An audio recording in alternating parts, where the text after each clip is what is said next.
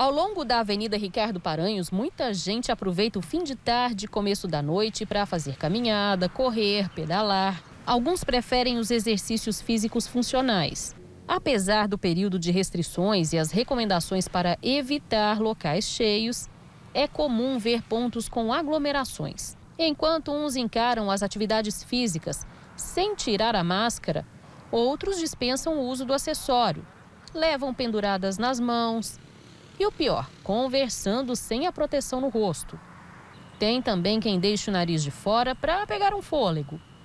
E nesses descuidos aparentemente simples mora o perigo.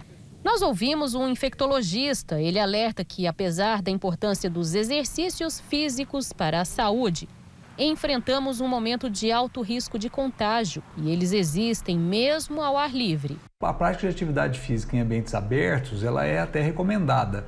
Só que é muito importante que as pessoas, quando saírem, busquem locais onde você não tem aglomeração.